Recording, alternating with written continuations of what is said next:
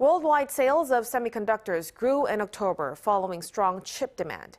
According to the U.S. Semiconductor Industry Association last week, global sales of semiconductors amounted to 48.8 billion US dollars in October, up 24 percent on year.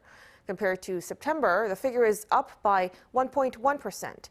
Sales increased across all major regional markets, with the U.S. recording a 29% on-year gain and Europe seeing a 27% increase.